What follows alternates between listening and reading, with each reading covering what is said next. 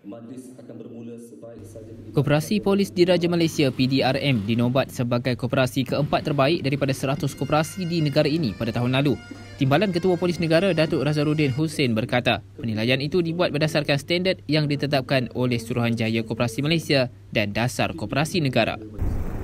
Uh, kita mempunyai ahli koperasi uh, pegawai dan anggota lebih kurang 114,020 orang yang mana akan mendapat manfaat atas faedah-faedah daripada uh, perjanjian atau, ataupun uh, uh, memorandum yang telah ditandatangani tangani ini.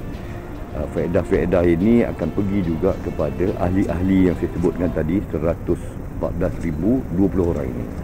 Dan kita percaya uh, dengan terjalinnya memorandum ini uh, koperasi polis uh, dan juga uh, melalui kod mantap ini akan menentukan bahawa untuk untuk hadiah ataupun dividen tahun ini bagi mungkin bagi lebih sikit lah.